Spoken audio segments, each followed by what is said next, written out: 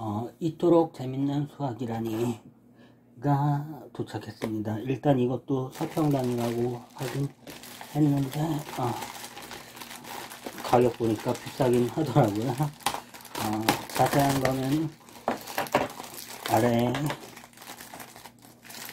유튜브 내용에 적어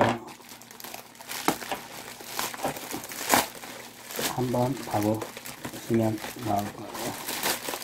아래 내용에 블로그에 써놓은 거를 참고하시면 됩니다. 어, 이토록 재밌는 수학이라니. 음.